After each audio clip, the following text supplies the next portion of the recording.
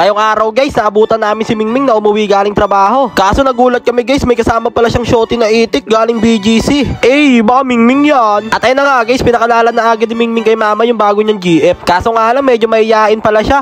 By the way guys, siya nga pala si Jessica. Galing daw siya guys sa mayamang pamilya. Nagkakalala daw sila ni Mingming guys. Nung minsan nagkabanggaan sila ni Mingming habang nagkakapi sila sa Starbucks. Grabe, parang aldak ang galawan. At ayun nga guys, niyaya na muna ni Mingming kumain si Jessica. Sabi niya, Wifey, tara kain muna tayo dito. Maraming foods dito sa house. Sabi naman ni Jessica, eh, naiiya ko habi. I'm so shy type C. Kaya ayun na nga guys, si Mingming na lang muna nag food trip mag-isa. Tamang food trip siya ng cat food dito. Tapos medyo nainggit si Jessica guys. Kaso bigla siya nagtaka guys, ba't daw cat food yung kinakain ni Mingming iitik siya. Sabi niya, ang weirdo pala nito ni Mingming. That's crazy. Kaya ang ginawa namin guys, pinag-prepare na lang muna namin sila Jessica na makakain nila. Kasi guys, ang kinakain na pala ni Jessica sa bahay nila is mga dekalidad na kaning bahaw. Bali yung gamit nilang bigas is Sinandoming Pro Max 125 Fi. Kaya medyo naiya kami guys kasi yung gamit lang namin bigas dito sa bahay, tag isang kilo sa 33. Grabe guys, nakakaya naman kung papakainin namin ng ganito si Jessica. Kasi sobrang yaman niya daw talaga. Balita nga namin guys, yung bahay daw nila, naka-tiles daw pati lamesa tsaka sopa. Kaya sana mali niya ng tunay si Mingming at samahan niyang tumanda ng paurong. At ayun nga guys, maya maya lang kumain na rin silang dalawa. Mukhang nagustuhan naman guys ni Jessica yung pinrepare namin pagkain para sa kanila. Tapos nagkakwento-kwentuhan pa sila guys. Sabi ni Mingming,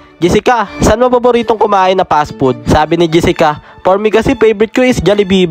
Sabi naman ni Mingming, ah, ako kasi favorite ko sa kwakdo. That's corny. So ayun na nga guys, after nilang kumain, sobrang tataba na ng butchi nila. Kaya naisipan naman nila guys mag-movie marathon. Tamang Netflix and chill yung mga itik oh. Grabe, sobrang nakakakinig pa yung pinapanood nila guys. Pinapanood nila guys yung episode 14 ng Tatlong Bibe. Napakarami talagang alam ni Mingming guys sa mga nakakakilig na movie. Kaya mukhang matuturn on sa kanya si Jessica. Baka Mingming yan. At ayun na nga guys, maya maya lang dumidiscard na si Mingming kay Jessica. Hala, napaka-clingy pala ni Mingming. Napaka-boyfriend material. Sana all. Baka Mingming yan. Tamang sound pa sila Mingming dito guys, ang kanta ni Flo G. Kabisado kasi ni Mingming guys, yung kanta ni Flo G na G-Wolf. Tsaka magaling talaga mag-rap yan si Mingming guys, magaling mag-freestyle yan. Sumali nga dati yan si Mingming guys sa flip duck battle eh. Kaso di natanggap sa tryouts. So ayun na nga guys, after nila mag-Netflix and chill, naisipan naman nila mag-swimming dito sa rooftop. Hala, grabe ang pogi ng puno, oh. Ayun na nga guys, nag-swimming-swimming na muna sila Mingming tsaka si Jessica dito. Ayan kasi lagi pinagmamayabang ni Mingming guys sa mga chicks niya. Lagi niya sinasabi, tara, punta tayo sa house namin. I have swimming pool naman in the rooftop. Grabe, napakayabang talaga nito ni Mingming. Talagang spoiled duck. Tapos sinabihan siya ni Jessica, sabi, Habi, marunong ka ba mag-tricks? Sabi naman ni Mingming, oo naman, eto, watch me whip. Eh, what a sisid marino by Mingming. Grabe, baka Mingming yan. Ang galing! Ang galing!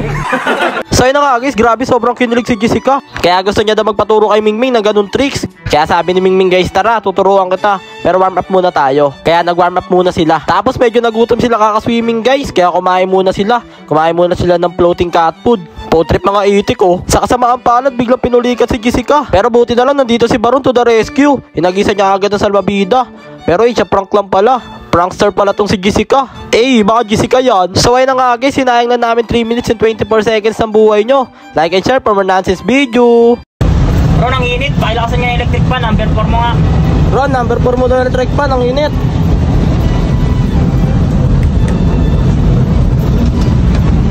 Ang galing! Ang galing! At ayun na nga guys, niyaya pa ako ni Baron ng karera. Ilalaban niya daw guys yung bagong bilhin niyang remote control na helicopter sa aeroplano ko. Uy, Banis, nakabaliktad pa. Wala, Banis, nakabaliktad. Nasaan na? Pupunta sa ilog yan, dito mapunta dyan. Bugsak dun! Bugsak na cemeteryo! What's up sa inyo mga itik? Ngayong araw guys, nagre-reklamo si Baron kasi sobrang init daw ng owner namin. Kaya ngayong araw guys, si Baron na mismo gumawa ng paraan. Bumili siya guys ng bagong ceiling fan na ilalagay sa owner namin. At ayun na nga guys, nilabas na agad ni Kuya yung mga tools niya para maikabit na agad tong bagong biling electric pan ni Baron. Sa wakas, hindi na kami amoy kulog pag nakasakay sa owner. So ayun na nga guys, kinabit na rin pala ni Kuya yung power inverter sa battery ng owner. Kinabit niya na yung positive tsaka negative terminal. By the way guys, ito nga pala yung nagko-convert from 12 volts to 220 volts. Kaya ayun na nga guys, sinaksak na agad namin tapos inon na namin. Tapos sinaksak na agad namin yung electric fan kung gagana ba. At ayun na nga guys, gumana nga. Grabe, sobrang lamig. Tapos sinesting na rin namin guys kung gagana ba siya kahit naandar. Tapos okay na okay nga siya guys. Bro, nang init. Pakilakasan nga yung electric fan. Number 4 mo nga. Ron, number 4 mo na electric fan, ang init.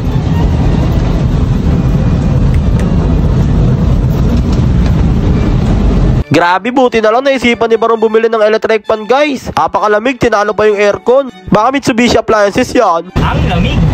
Ang galing! Ang galing! So ayun na nga guys, tapos na namin pagtripan yung owner. Kaya ngayon naman guys, may naisip na naman kami pagtripan. Naisip namin guys na magpalipad ng helicopter tsaka aeroplano. Bale, nagpa-practice kasi kami guys magbalipad-lipad para kapag nagka-drone na kami. At ayun na nga guys, nagbagas nga pala muna kami. Medyo malayo-layo kasi pupunta namin guys, kaya baka tumirik na naman. So ayun na nga guys, tapos na kami ngayon magpagas. Kaya hanap naman kami ngayon guys sa malawak-lawak na space na mapagpapaliparan namin ng helicopter tsaka aeroplano.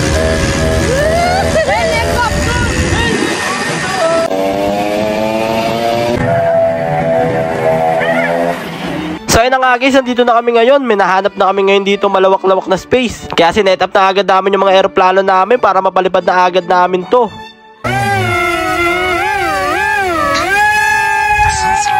Kaya ayun na nga guys, nagkarera na agad kami ni Baron. Bale magkakaalaman na kami ngayon kung sino bang pwede mag-control na mabibili naming drone. At ayun na nga guys, mukhang patas lang kami. Parang parehas lang magaling. Parehas baldugin. Hala, grabe ang lupit guys oh. Parang tutubi versus bubuli.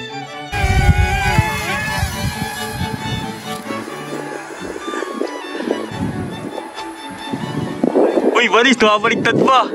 Wala, Banis, nakabaliktad. Nasaan na? Bye-bye. Papunta sa ilog yan, dito mapunta yun dyan. Takbo, takbo dito, dito. Dito, dito. Dito pa kabila. Kabila, lapitan mo dun. Takboy mo dun, banda. Yan, yan. Dire-diretso lang. Dire-diretso lang. Ako na nga, hawa mo dun. Hawa mo na ron. Hawa mo na ron. Ano na? Ayun.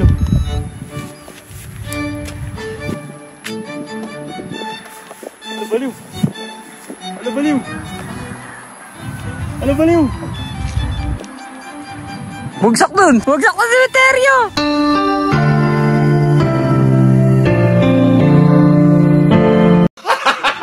So yun na nga guys, sumentad. Malupit kasi na piloto to si Jan Jan eh. Sabi ko kasi mag voice over na lang, wag na magpalipad ng aeroplano. Wala pumasok niya sa sementeryo. Bawal ba dyan? Layo. Palong-palo ka kasi. So yun na nga guys, hanapin na namin ngayon kung saan umentad yung aeroplano. Bali, iikot kami sa bakod guys, papasok pa kami sa gate ng sementeryo. Kaya pinuntahan na agad namin guys, sana mahanap pa namin. Dito ba talaga yung tech? Parang hindi ata dito yun dyan. Parang hindi naman ata dito eh. Dito yun. Paano mo nasabi? Yung. Oo nga, ito yung pine tree.